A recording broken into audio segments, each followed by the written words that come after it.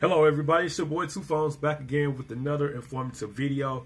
Uh, this video is about how to stream music, news, sports, and podcasts 100% uh, free without internet access, without Wi-Fi connection. All you need is this one application, whether it's pre-installed or you have to install it for yourself. Uh, this comes in handy when there's times you don't have uh, your music already downloaded to your device uh, whether you you don't have like service to stream, you know, uh, your movies or uh, whether you want to watch TV or sports. Uh, this application is called NextRadio. It's found on most devices with the FM chip um, that's available on Android. So like the Nokia phone or Motorola or even Samsung, LG, you got Alcatel, you got ZTE, and you got BLU.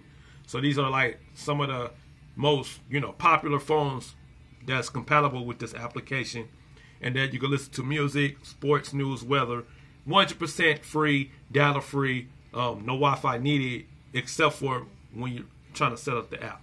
Now, I just want to go ahead and open up the application and show you what comes inside the app. Now, you have your your radio stations, your local radio stations. Um, this is the FM radio guide. So basically, all the local radio stations in my area, um, based on my location. And like I said, you got sports, your top 40 playlists, you got rock, you got all the different types of genres.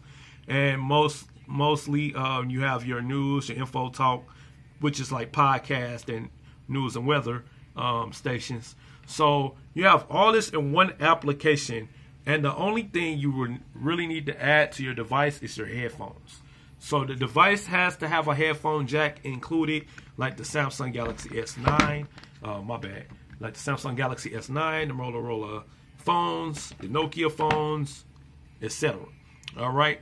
So this app is 100% free on the Google Play Store. You can download it today. Uh, let me know your thoughts in the comment section below. Uh, did you know that you can save a lot of internet, a lot of data using that one application on any of your devices?